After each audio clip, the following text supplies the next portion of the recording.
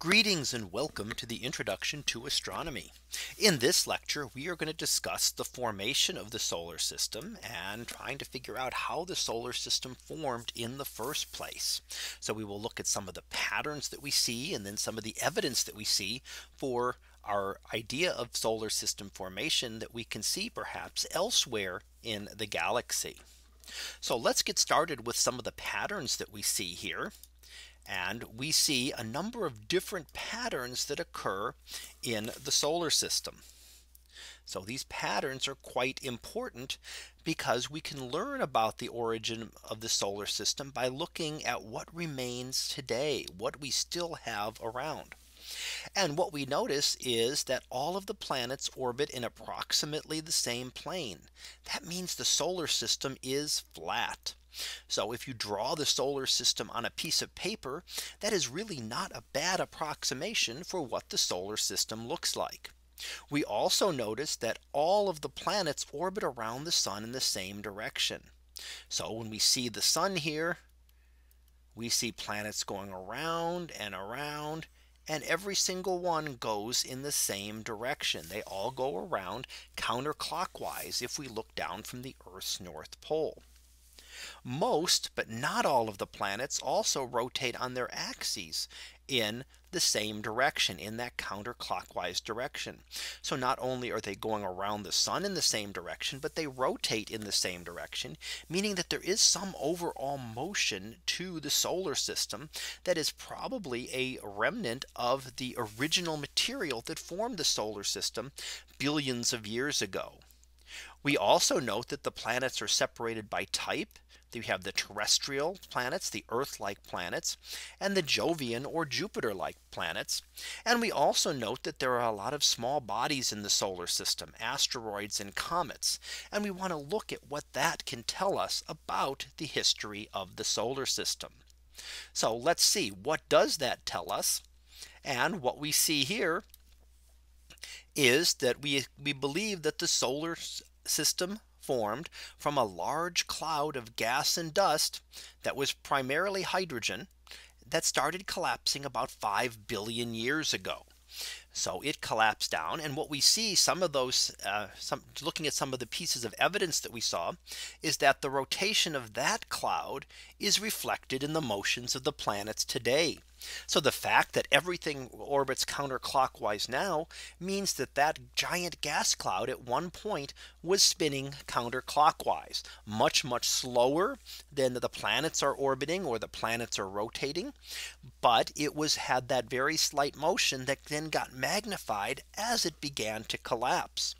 Now if we look at that, we would have had hotter temperatures near the sun that would have caused different types of materials to condense. So hotter materials near the hotter temperatures near the sun means that we would have rock and metal materials forming planets close to the sun and icy materials further away. And that gives rise to the two types of planets that we see.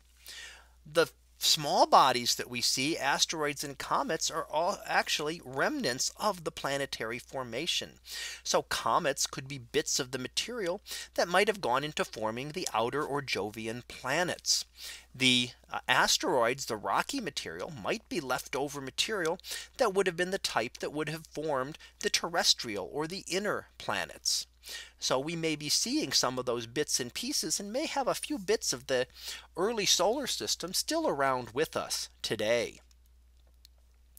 So let's look at building a planet. What would have happened?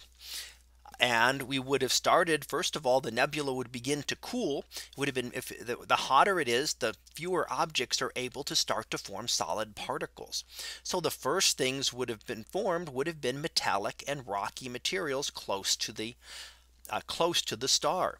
So the particles begin to start coalescing into larger objects, starting off with simple grains, pebbles, smaller rocks, larger rocks, eventually becoming what we call planetesimals. And those would have been the bits and pieces that would have then formed the terrestrial planets. Now outer in the outer part of the solar system, you would have had more icy material forming and you would find more icy chunks again coalescing into grains and pebbles and smaller rocks and larger rocks not being rocks in the traditional sense but larger chunks of ice that would have then coalesced to help form the outer planets. Over billions of years these would slowly grow larger eventually becoming the planets that we see today. So these planetesimals would slowly coalesce and one would become dominant in each area. And it would then clean out that part of the nebula. It would collect a lot of material into it. And it could use its gravitation to throw material out of the solar system altogether. Then we have to clean up the solar system because there's not a lot of these planetesimals left today. So how do we uh, clean it out? Well, as the planets are forming, some of that material that some of that debris left over actually becomes part of the planet. The planet will gravitationally pull it in and it will become a part of the planet impacting in it and causing the planet to grow. Some of it is ejected out into space. So you might have a planet here and you might have an object that hits it and becomes part of the planet. But you might also have something that just comes close to it and then gets ejected completely out of the solar system. It doesn't quite hit it.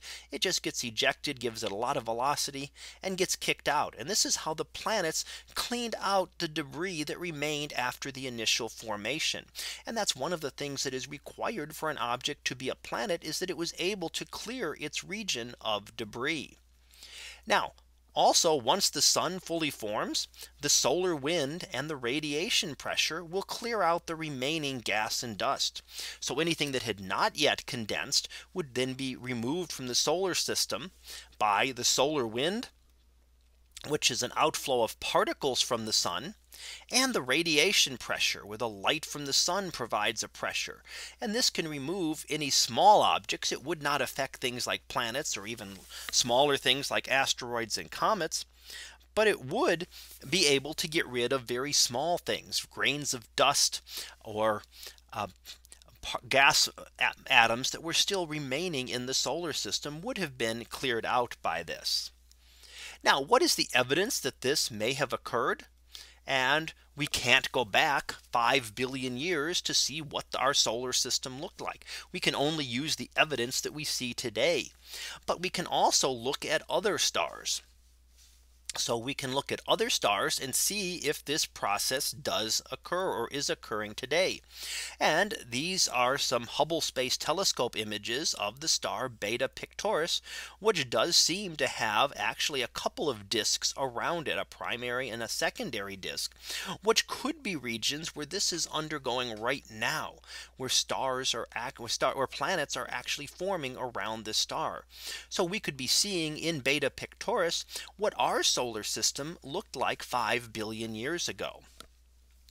And some of the keys are that now that we didn't know several decades ago is that we know of many planetary systems outside of our own and that they are quite common we now know of thousands of planets outside our solar system.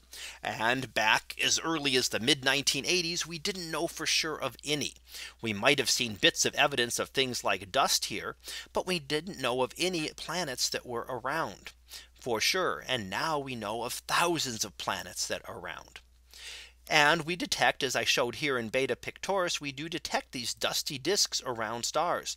So are we observing the process of planet formation? And it looks like that is a pretty good uh, pretty good bet because we do know that planetary systems are common so that when we see things like this we have a pretty good idea that planetary systems are uh, forming here. So let's finish up here with our summary as we do. And in our summary, we would see that we can look at we can find out what's going on by looking for those patterns.